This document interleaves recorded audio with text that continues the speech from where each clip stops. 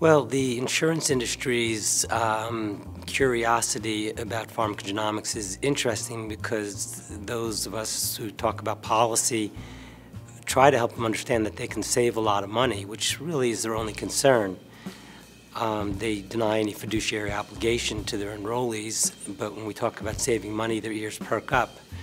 However, as I pointed out in my lecture, the insurance industry is a little bit uncomfortable after the urine drug testing debacle, we'll call it, whereby there were some labs that did not behave particularly well, that pushed for over-testing, that were fraudulent.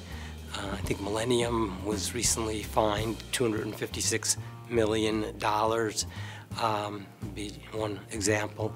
And accordingly, the um, insurance industry is gun shy about pharmacogenomics. Furthermore, you know, Medicare, you know, started covering pharmacogenomic testing because they saw that it could reduce adverse events, which are very expensive for Medicare, and then somewhat abruptly stopped paying for almost all pharmacogenomic testing last summer.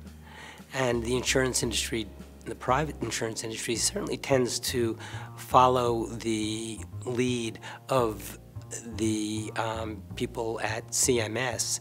So right now, that's all up in the air, and I tried to explain that that while pharmacogenomics is a wonderful tool, and you know is going to be picked up by the VA system very heavily, as it's been picked up by National Health Services in Europe. Uh, where the National Health Services and the VA own the health of their enrollees for life um, you know, it doesn't necessarily mean that the uh, private insurance under which the majority of Americans are covered are necessarily going to do it particularly quickly.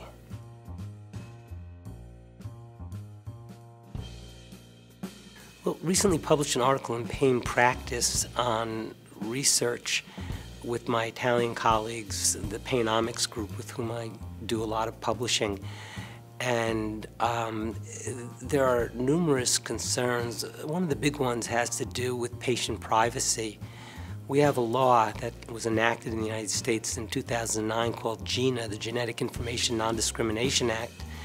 And while genetic testing information uh, is not allowed to be used by insurers to deny uh, potential enrollees health insurance, it doesn't apply in the United States to you know disability insurance, uh, long-term care insurance, and such. So it's a very incomplete law, and my hope is that um, the next administration will do something to put some teeth into GINA and thereby make Americans feel less anxious about undergoing genetic testing and having all their information out there.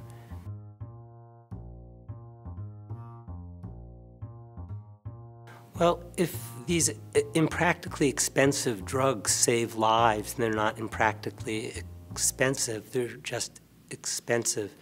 If lives are going to be saved, if suffering is going to be ameliorated, I think that there's no uh, dollar figure that can be put on their, you know, uh, on the value in, in, terms of, you know, benefit to patients.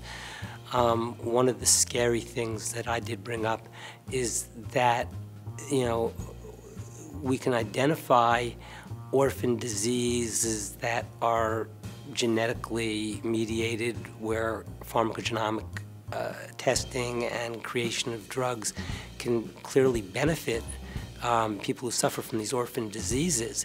But again, there's not going to be much profit motivation for the pharmaceutical industry. And that may stop them from doing so. And I pointed out that the good news is that chronic pain from which 100 million Americans suffer is not an orphan disease, yet there are many orphan diseases that are indeed painful. And wouldn't it be nice if we could do something with great drugs to keep these diseases, um, uh, the symptoms of these diseases um, from becoming severe and not have to rely upon analgesia?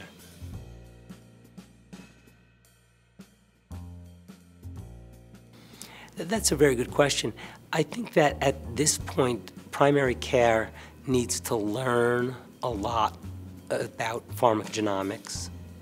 They need to find a lab that is user-friendly because, you know, so many physicians struggle with the reports they get from urine drug testing labs in terms of uh, understanding them.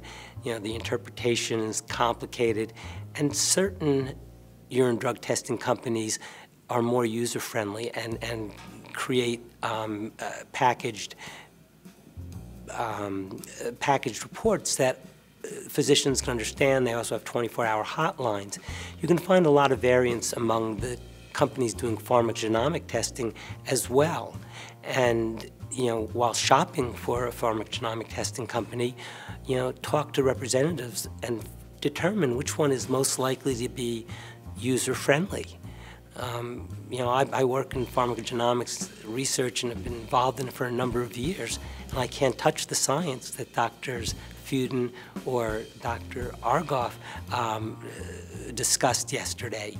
So I really feel bad for the neophyte in, uh, primary care provider who gets all this information and then says, now what?